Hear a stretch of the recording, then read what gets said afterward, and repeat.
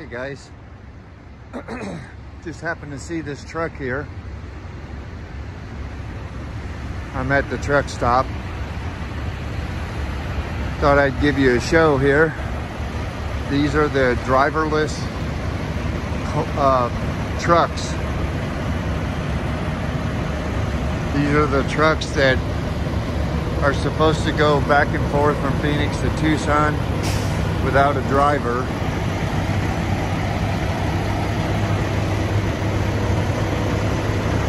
They have all this equipment. It is a Peterbilt.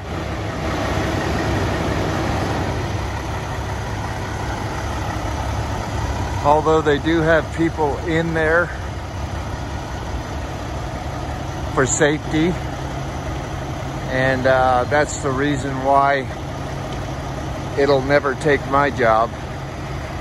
There's just some things that these trucks cannot perform.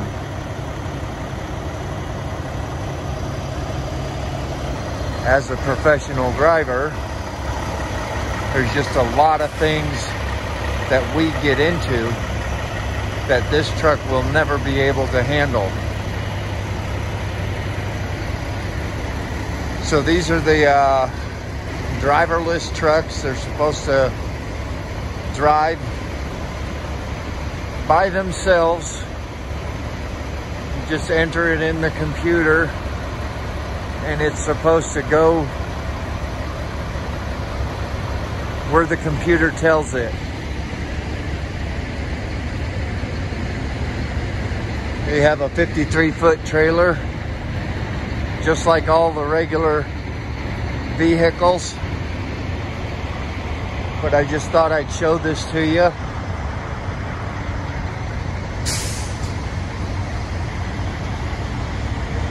Spittin Cobra. Bringing it to you. Keep on trucking.